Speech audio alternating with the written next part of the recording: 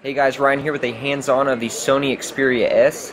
This device is very similar to its brother, the Ion, except it lacks LTE support and clocks in with a slightly smaller screen at 4.3 inches.